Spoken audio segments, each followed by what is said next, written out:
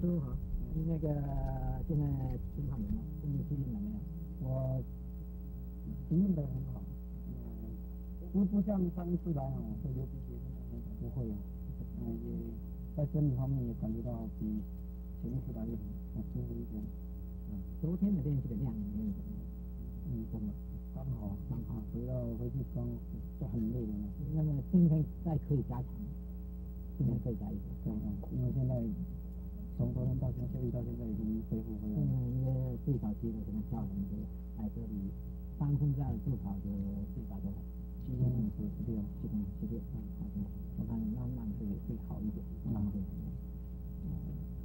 呃，万敏，你昨天的那个练习。呃，你练习几项？昨天的十项运动，练习的情形和情况，大致的情形在这个地方跟老师报告一下，有关自己的情况问题。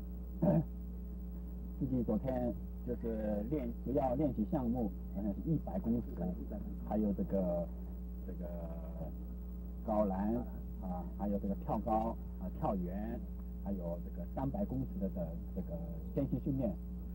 这个 昨天是速度方面没有练习，那昨天测验了一百公尺之后，总觉得自己那个在心脏呢，这个好像呼吸方面呢，总感觉到好像是有点不呼吸的急促，所以呢，呃说我好像没有不太适应的样子，还没有完全适应，大概到现距离现在比赛的情形的话，可能到那时候就好了。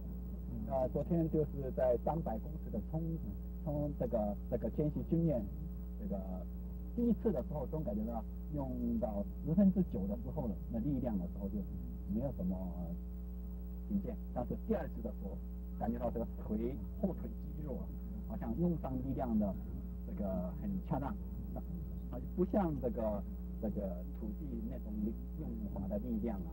这个踏板这个力量完全用上的话，整个腿昨天练习量的练习的时候，练习三百的时候之后呢，就是这个这个方面发发现三百做几次？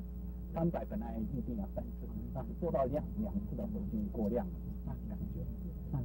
下面我就因为我自己是成了家的人，啊，当然我现在是因为为了自参加这一次的呃世运会，嗯，想。发挥最后一次的这个这个自己运动员的生活啊和经验，呃，能够希望我自己能够尽最大的努力呢，在这一次的世运会。